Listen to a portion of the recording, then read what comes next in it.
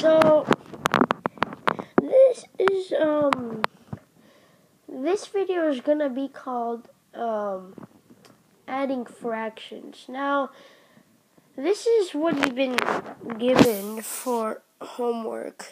Well, my class uh, my class has been given some homework like adding fractions and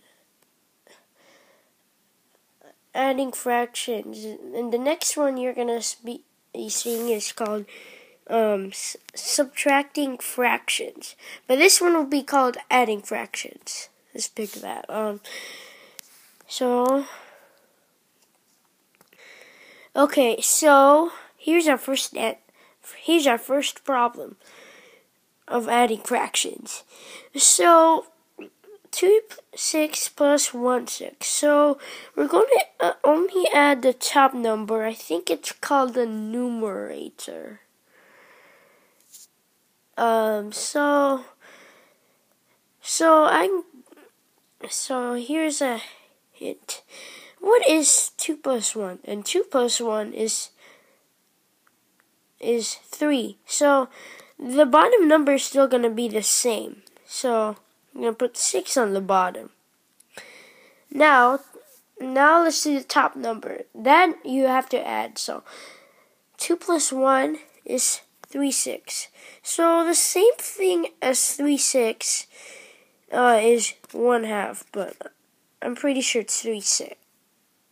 Because 2 6 plus 1 6 is 3 6. Okay, so here's our next problem. 100 over 200 plus 1 over 200. So, so I'm going to put the bottom number. I think it's still going to be the same.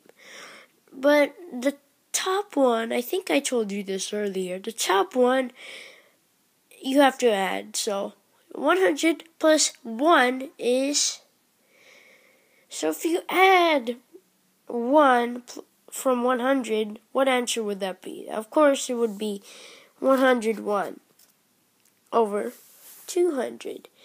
Now, so I, so adding, uh, oh, never mind.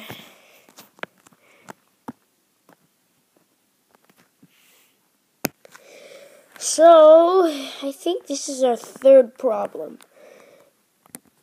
And our problem, our third problem, I think, is 4 8 plus 4 8. I think this is what we learned today, I think. Well, I'm not sure. Well, maybe yesterday. I can't remember. I think it was today. So, 4 8 plus 4 8 is, um, it's a whole, so it's 8 over 8. 8 over 8 equals 1. Um,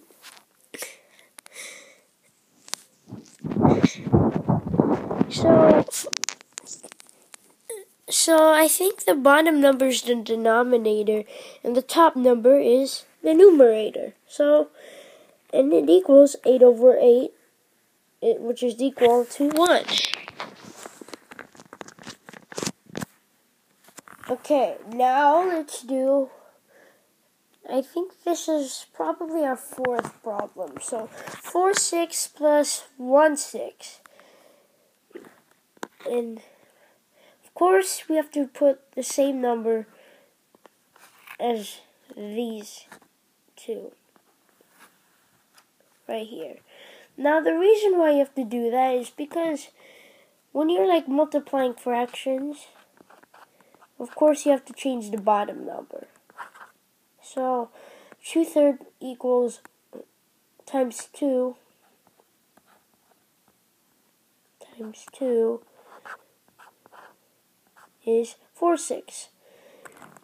That, the bottom number has to change because you both numbers, the numerator and the denominator, you have to multiply them.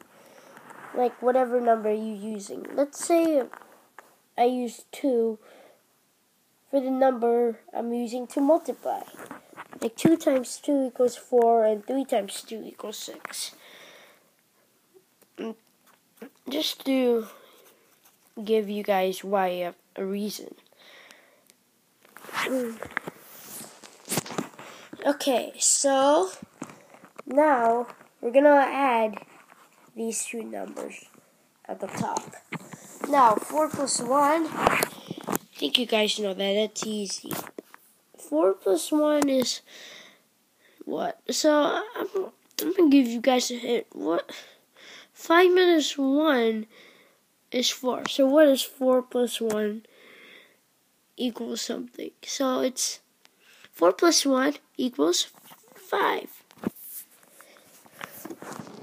That you don't have to reduce.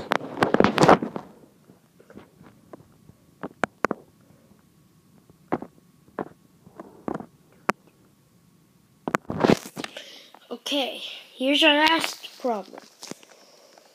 Uh, so five, are, our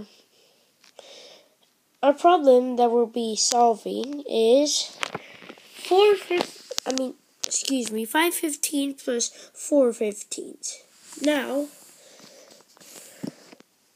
um, oops, I did not mean to do that. Um, okay. 4 15s plus 5.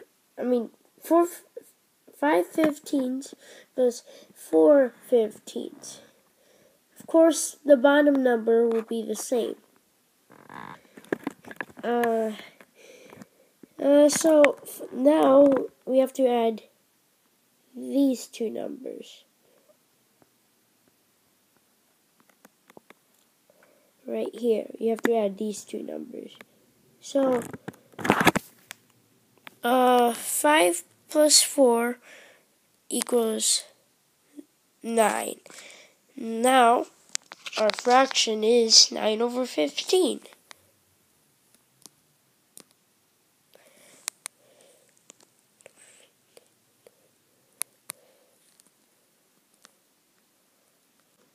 Thanks for watching. If you have any questions, just email me at jaden.nacow at gmail.com. And so that is how you do adding fractions.